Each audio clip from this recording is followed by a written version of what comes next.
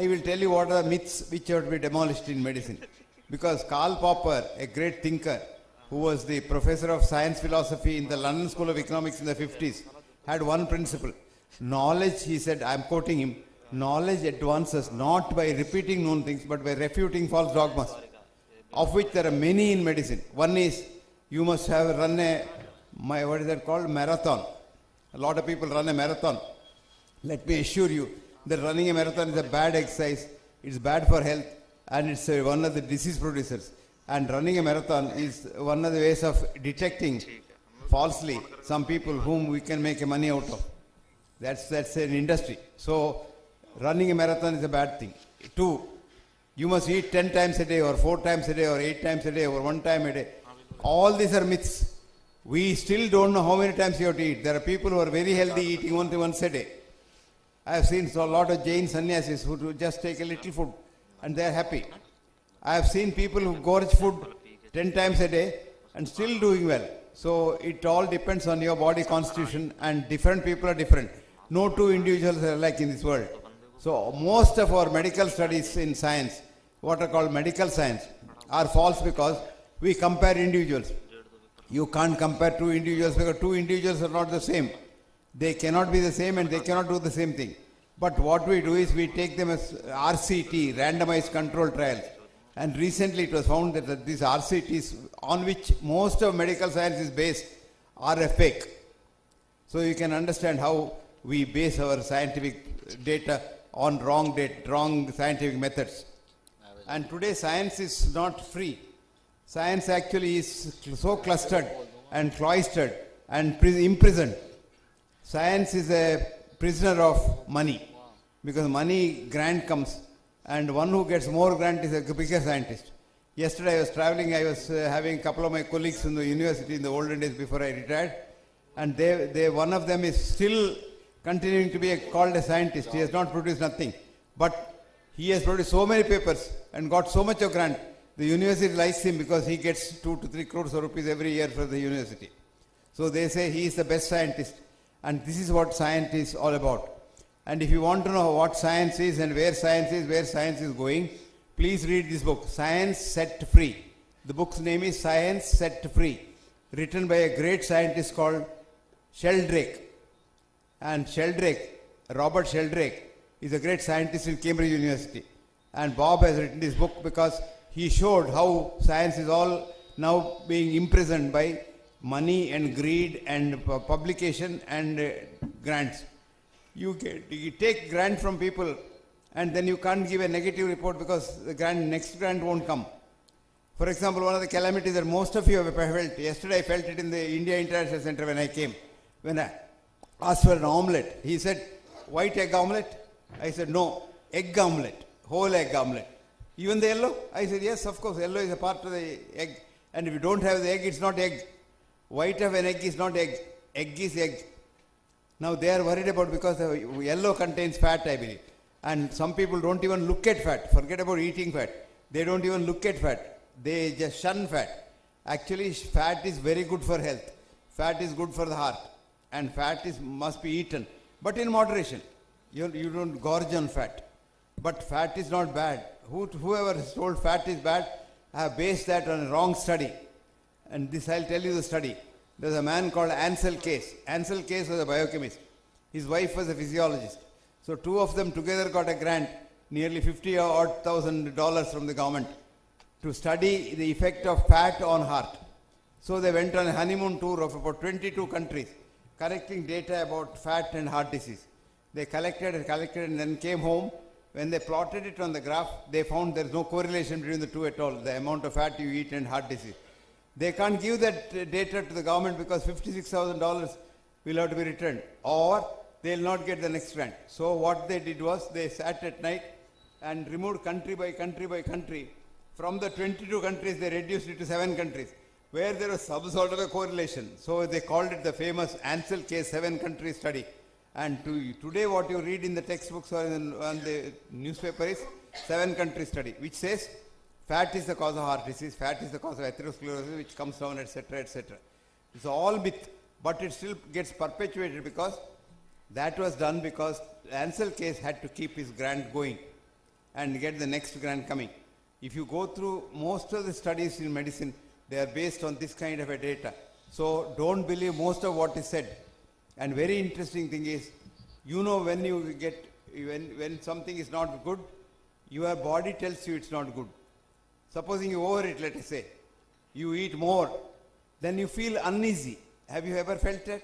You don't feel easy.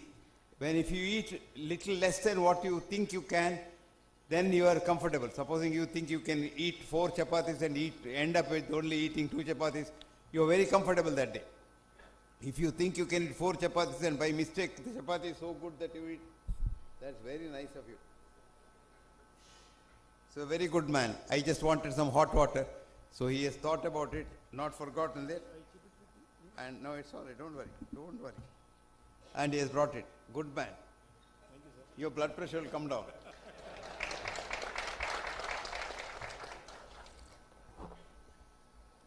So, eating in moderation is a very good thing, healthy thing, and your own body tells you it's good.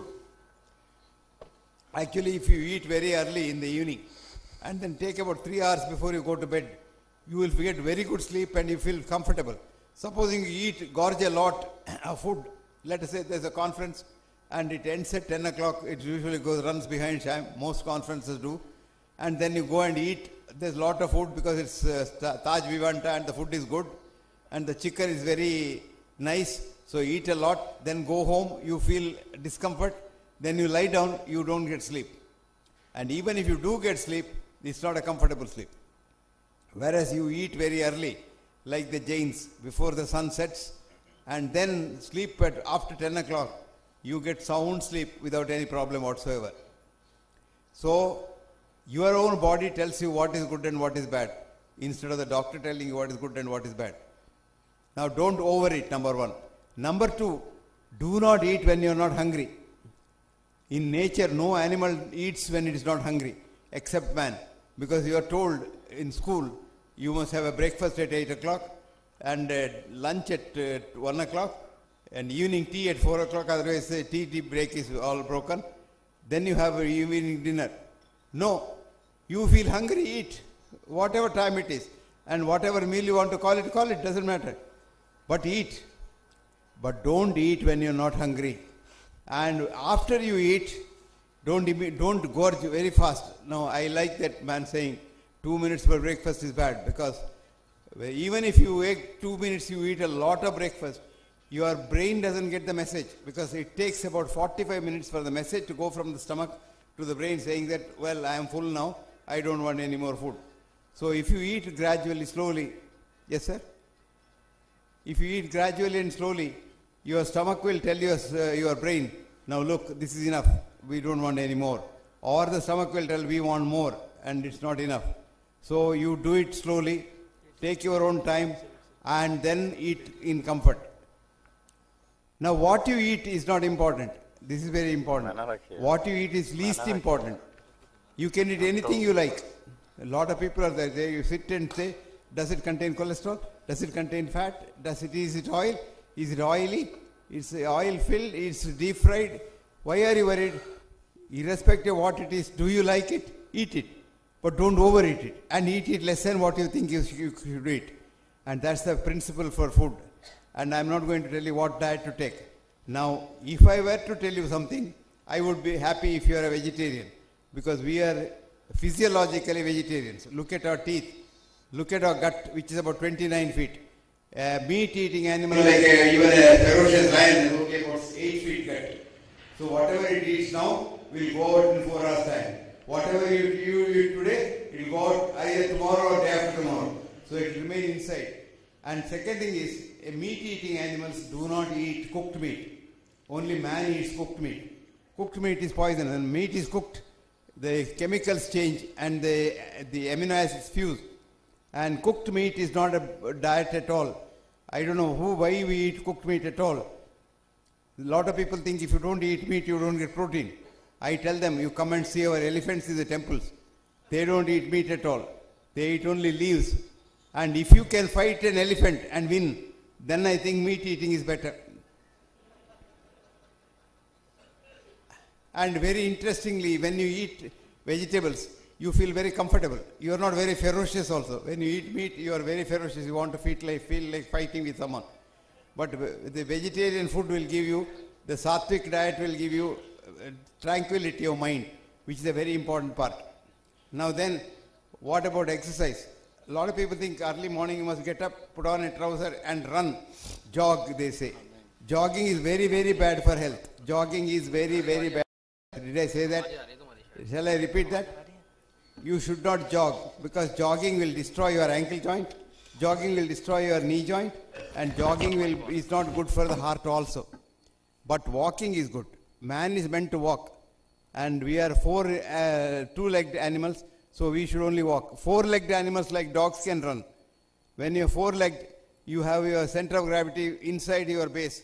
When you have two legs, when you run, your center of gravity falls out each time, and that's balanced by your knee. So if you are a mile runner, at the end of the day, you will probably have, when you grow a little older, your knee joints are so bad that you can't walk.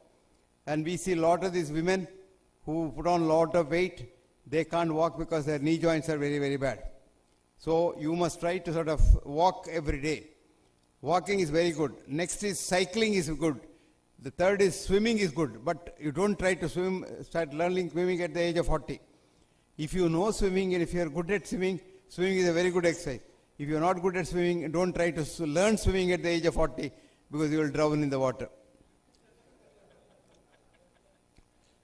Then the next best thing is exercise what time of the day? Preferably on empty stomach when you don't have too much of food. But do not exercise on full stomach at all because it will load the, the heart very heavily. That's why a full meal is called a hearty meal. Have you heard of that? It's a hearty meal. Why do they call it a hearty meal? The one part of the body which a food, when you overeat and touches, is the heart. Each time you eat a big meal, the heart has to supply so much of blood to the gut that the heart overworks. So having a big meal is like running a mile. It's almost as much as that. And then if you overexert on that, like for example, there are a lot of people who say, I'll walk after meal. No, never do that. Walk before a meal and then eat. After meal, you just uh, after walk, you just sit for a little while, relax, and then have a meal. So don't eat it first. First. Now, third thing is, what about your uh, relaxation? What is relaxation? Whatever is good for you, it's good relaxation. Somebody said, "Do you enjoy music?" Yes, I do, but I'm, I don't die for music. So if you love music, go ahead. Music will give you relaxation. If you love playing cards, go ahead. It will give you relaxation. If you love talking to people, go ahead, do that. But very interesting thing happened. Recently, they did a study, like the study in Ayurveda for what's called observational research. Thousands of years, you observe a group of people. Unlike what we do in medicine called cross-sectional research, we take about 100 people, study them two groups, and then come to conclusions immediately. So one day you say coffee is good, next day you say coffee is bad. Third day this uh, scientific study says tea is good, and the fourth day study says tea is very bad for health. So all these are because the study is wrong. Now this is a very interesting study that's going on, and it's almost complete now. This is called the Harvard alumni study. Those who joined the Harvard University in 1930s and who are still alive, many of them have died, 90 years they have died. So if they are alive, they are being followed up. If they are dead also, they are being followed up to find out how they died. Three important things came out in this study. Mark my words now. Remember this very clearly. Three things came out. A, drinking alcohol is very bad for health. Drinking alcohol is very bad for health. I am repeating it second time. Because a lot of doctors tell you, uh, drink a little couple of pecks of uh, wine, red wine, it is good for your heart. Absolute myth. There's nothing. Even a drop of alcohol is not good for health. I'm not saying a drop of alcohol is bad for health, but there is no evidence to say that even a drop of alcohol is good for health. Alcohol is not good for health at all. Alcohol damages the liver, of course, first. Alcohol damages the heart irreparably. That's what's called alcoholic cardiomyopathy, which is a very dangerous disease. Man drops down dead. And but that cannot be corrected at all. There's no treatment for that. And then alcohol is bad. Two, tobacco is an enemy number one. Three, having friends, relations, and happiness, and the more number of friends and relations you are happy with, longer you live, healthier you live, happier you live. So only three things. A, don't drink alcohol. B, don't smoke. Three, have a lot of friends. Talk to them daily. Make them happy. Make another person happy. You will be happy. How to be happy? Christina, an American poet, has said, if love is what you give away, love is what comes back each day like a mirror. So if happiness is what you give away, happiness is what comes back each day. Supposing I give a lot of happiness to Shah uh, happiness will come to me from someone else. Shah will be happy because of me, but I'll be happy because of someone else.